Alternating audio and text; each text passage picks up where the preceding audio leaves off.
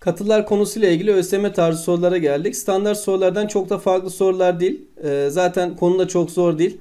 Biraz böyle birbirinin yerine kullanılan ifadeler var. Sorulara bir bakalım.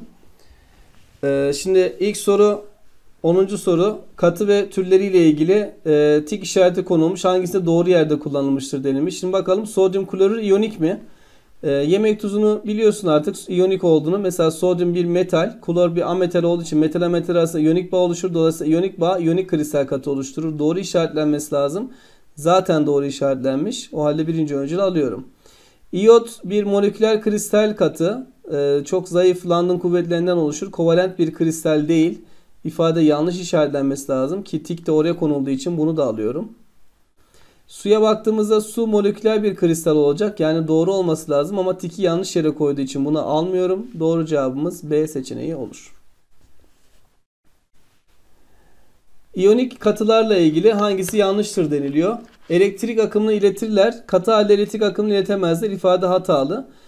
Hidrojen klorür katısı örnek olarak verilemez çünkü hidrojen bir ametal, klor da bir ametal olduğu için bu moleküler kristal katı örneğidir. İfade hatalı ama kırılgan olduğu ifadesi doğrudur. Doğru cevabımız 1 ve 2 B seçeneği olur.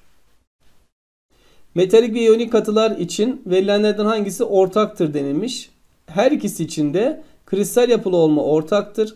Metalik katılar katı halde elektriği iletirken iyonik katılar katı halde elektriği iletemezler. O yüzden bu ortak değil. Metaller işlenebilirken katılar kırılgan olduğu için, iyonik katılar kırılgan olduğu için işlenemezler. O halde doğru cevabımız A seçeneği olur.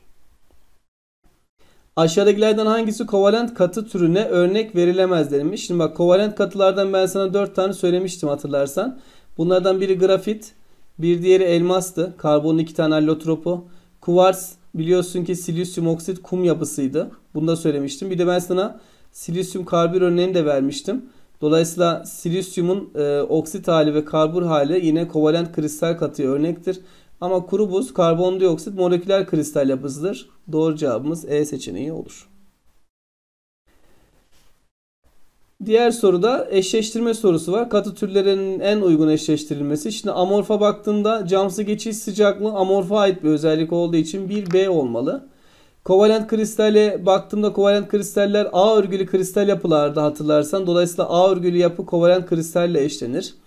Metalik e, kristallerde ise elektron deniz modeliyle metallik bağı açıklıyorduk. Dolayısıyla elektron denizi metalik kristale ait bir özellik olduğundan BAC doğru sıralaması olduğundan doğru cevabımız denizli olur. NaC ile yani sodyum klorür bileşiği ile ilgili hangileri doğrudur denilmiş. Şimdi küp şeklinde küçük kristallerden oluşur. Ben e, konuyu anlatırken bunlar kristal örgü yapısında olduğunu ve özellikle sodyum klorürün e, yüzey merkezi küp yapıda olduğunu söylemiştim. Dolayısıyla bunlar küp şeklinde kristal yapılardan oluşurlar. Moleküler bir kristal değil, iyonik kristal katıya örnektir.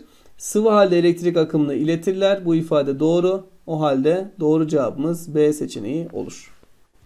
Gördüğünüz üzere sorular çok da zorlayıcı değil. Biraz altyapıya gerek var sadece. Bu altyapının da sende olduğundan eminim. Ee, şimdi konu pekiştirme testiyle konumuzu şöyle bir toparlayalım. Bir genel tekrar yapalım. Müzik